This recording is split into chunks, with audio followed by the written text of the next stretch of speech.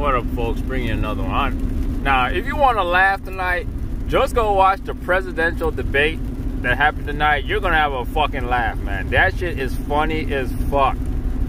That's all I want to say. Just watch the presidential debate. If you don't even want to watch the whole thing, just watch the highlights. You're gonna be dying laughing, yo. I swear.